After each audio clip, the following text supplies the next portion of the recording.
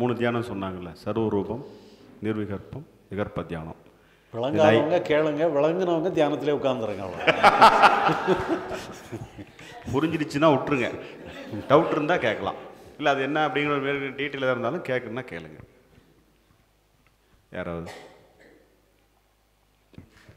கேள்வியில் உங்களை கேளுங்கன்னு தான் சொல்கிறோம் ரைட் இது எந்த டைம்ல பண்ணணும் எவ்வளவு நேரம் பண்ணணும்னு ஏதாவது டியூரேஷன் இதுக்கு டைமே கிடையாது. நீங்கள் விழிச்சிருக்கும் போதெல்லாம் பண்ணலாம். உங்களுக்கு எப்போ எப்போ டைம் கிடைக்கும் அப்போல்லாம் பண்ணலாம். எப்ப கால்ல இருந்து நைட்ல இந்த நிர்விகற்ப தியானம் மட்டும் கொஞ்சம் உட்கார்ந்து பண்ணால் நல்லது. இந்த நிர்விகற்ப தியானம் மட்டும் நம்ம ஃபோக்கஸ் பண்ணுறோம் பார்த்தீங்களா அது வந்து கொஞ்சம் அசைவில்லாமல் அப்படியே அமைதியாக உட்காந்து உட்காந்து பண்ணுறது அது மட்டும் உட்காந்து பண்ணணும். எப்போ உங்களுக்கு எப்போ டைம் கிடைக்குதோ எப்போ வேணாலும் பண்ணலாம். எவ்வளவு நேரம் வேணாலும் உட்காந்து அதை மட்டும் உட்காந்து பண்ணணும். நீங்கள் பத்மாசனம் அந்த ஆசனம் இந்த ஆசனம்லாம் ஒன்றும் வேண்டியதில்லை உங்களுக்கு கன்வீனியண்ட்டாக எதில் வேணாலும் உட்காந்து பண்ணலாம் நீங்கள் சேரில் கூட உட்காந்து பண்ணலாம். கொஞ்சம் அசைவில்லாமல் உட்காரணும். உட்காந்து அப்படியே ஒரு ஸ்டெடி மைண்டோட பண்ணணும். டுவெண்ட்டி தேர்ட்டி மினிட்ஸ் எது எது? டுவெண்ட்டி தேர்ட்டி மினிட்ஸ் அது மாதிரி பண்ணணுமா? இல்லை ரொம்ப நேரம் பண்ணணுமா? அது உங்களுக்கு அதாவது எப்படி சொன்னால் நீங்கள் இதை பண்ண ஆரம்பித்து உங்களுக்கு இது பண்ண பிறகு உங்களுக்கு அதுலேருந்து எழும்புறதுக்கே மனம் வராது. வராது. அந்த அளவுக்கு ஒன்றி போயிடும் அது. அதனால் நீங்களே ஒன்றா ஒரு டைம் வச்சுக்கிடுங்க. ஒரு அரை மணி நேரம் பண்ணால் போதுன்னுட்டு வச்சுக்கிட்டு அந்த அரை மணி நேரத்தோடு நிப்பாட்டிக்கிடுங்க. இல்லைன்னா அது பாட்டுக்கு டைம் தெரியாமல் போயிடும் அது. மற்ற இதெல்லாம் வந்து உங்களுக்கு கான்சியஸாக தான் எல்லாமே இருக்கும். இந்த ஒரு தியானம் மட்டும் கொஞ்சம் பவர்ஃபுல்லான தியானம் அது. இந்த நிர்விகற்ப தியானங்கிறது பவர்ஃபுல்லான தியானம். அது வந்து அதனால மட்டும் அதை ஒரு அளவோட பண்ணிக்கிடுங்க.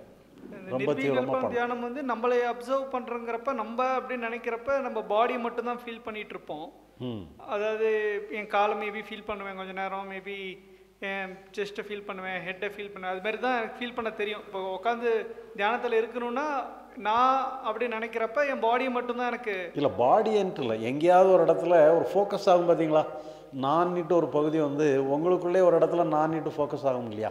என் மூச்சில் இருக்கும். எதுலேயோ ஒரு இடத்துல ஃபோக்கஸிங் ஆகிற இடமா பார்த்து நீங்கள் ஃபோக்கஸ் பண்ணிவிடுங்க அதை கவனிச்சுக்கிட்டு இருந்தாலும் மூச்சு மூச்சு கவனிச்சுக்கிட்டு இருந்தாலும் அப்போ அதை அதை ப- அந்த அதாவது அந்த நான்கிறத கவனிக்கணும். மூச்சை கவனிக்கிறத விட மூச்சுக்கு ஆதாரமான அந்த நானை கவனிங்க. அந்த நான்கிற உணர்வை கவனிங்க. அந்த நான் வந்து ஒரு முக்கியமான அம்சமான எடுத்துக்கிடணும்.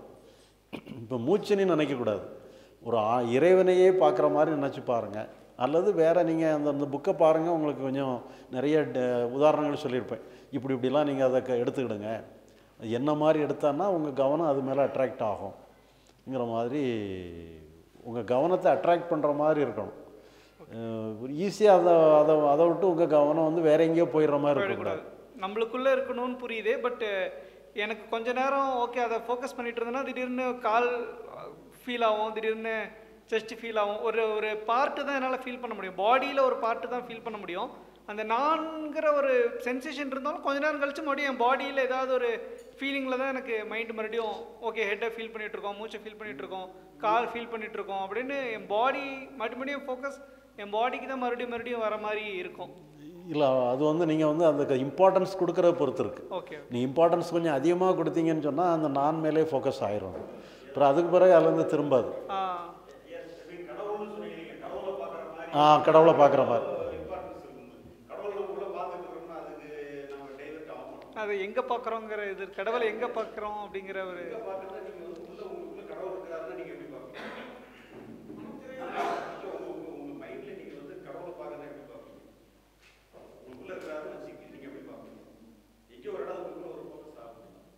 அதுதான் ஒரு இடத்துல இருக்கிறது இல்லைன்னு தான் நான் சொல்றேன்.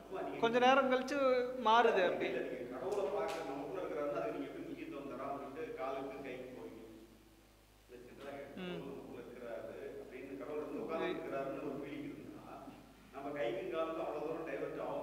இல்ல நம்மளுக்குள்ளனா கையிலயும் இருக்கார் காலிலையும் இருக்கிறாருங்கிற மாதிரி போயிட்டு இருக்கு.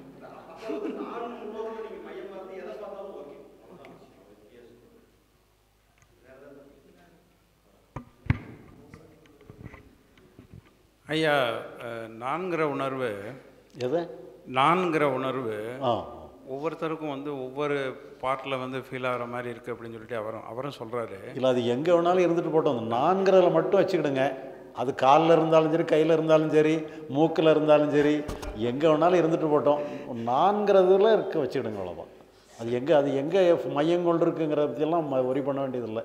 நான்கிற அம்சம் அதில் இருக்கணும் அவ்வளோதான் அந்த நான்கிறத மட்டும் பிடிச்சிக்கிடுங்க. அது கையா காலாங்கிறதெல்லாம் மறந்துடுங்க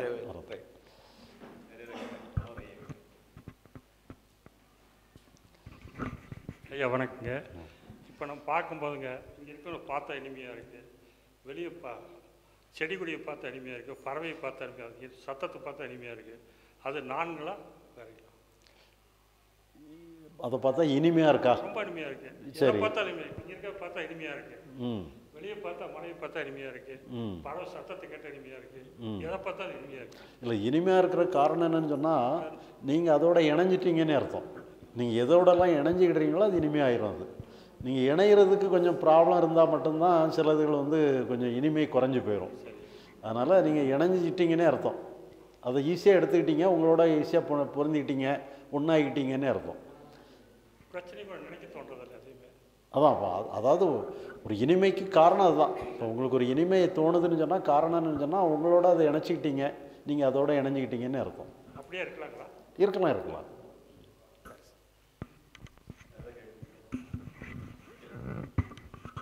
வேற யாராவது கேள்வி?